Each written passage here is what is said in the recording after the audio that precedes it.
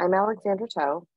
And I'm Angela D.R. Smith. We're presenting our work on designing for flourishing. HCI centers problem solving, causing a downstream effect of framing work with and for marginalized communities from the lens of deficit and damage. We observe an additional need to center positive aspects of humanity, such as joy, pleasure, rest, and cultural heritage, particularly for Black, Indigenous, and people of color. Through three case studies, we propose six actionable design tenets for flourishing in the everyday.